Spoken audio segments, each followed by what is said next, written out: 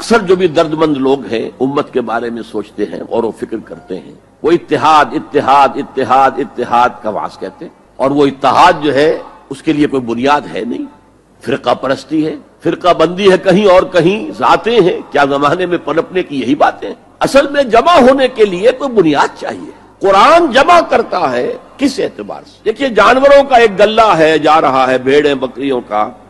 एक आध कुत्ता भी उनको काफ़ी है जमा रखने के लिए। जरा बकरी को इधर हुई, वो कुत्ता आया, वो फिर वापस अपने गले के अंदर मिल गई। लेकिन इंसानों को अगर जमा करना है तो पहले उनके अंदर फिक्री और जहनी हम आहंगी पैदा करना ज़रूरी है। उनके ख्याल एक जैसे हों, उनके नजरियात एक जैसे हों, उनके मकासद एक जैसे हों, उनके तरीक़ेकार एक जैसे हों। जब तक ये चीज़ें नहीं होंगी, जमा कैसे हो जाएँगे? इतिहाद का इतिहाद का वास कहते रहिए, कोई नतीजा निकलेगा ही नहीं और नहीं निकल रहा। मुतहिद करने वाली शय सिर्फ़ अल्लाह की किताब है।